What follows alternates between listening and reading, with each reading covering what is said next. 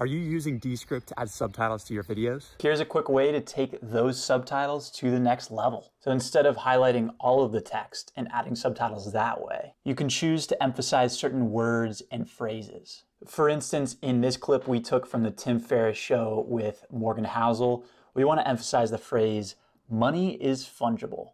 By the way, we don't yet work with Tim Ferriss, but we really would love to. So we've got that text selected. We're gonna go over to fancy captions.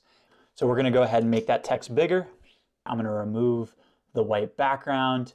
I'm going to change the main fill color to white, the active word color to white, and the future word color is going to be transparent. Now when you play this section of the video, it's gonna look like this. Money is fungible. For the rest of the video, you can have a more default style of captions they're going to look something like that. But when you emphasize those key phrases, you're helping hammer home the core message of the clip. If you want more tips on podcast repurposing, give us a follow.